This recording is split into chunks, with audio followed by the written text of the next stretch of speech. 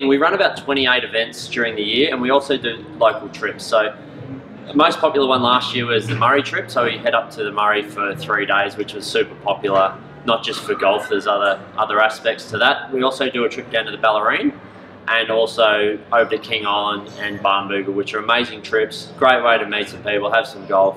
If you enjoy beer, they're all, uh, they're all good trips.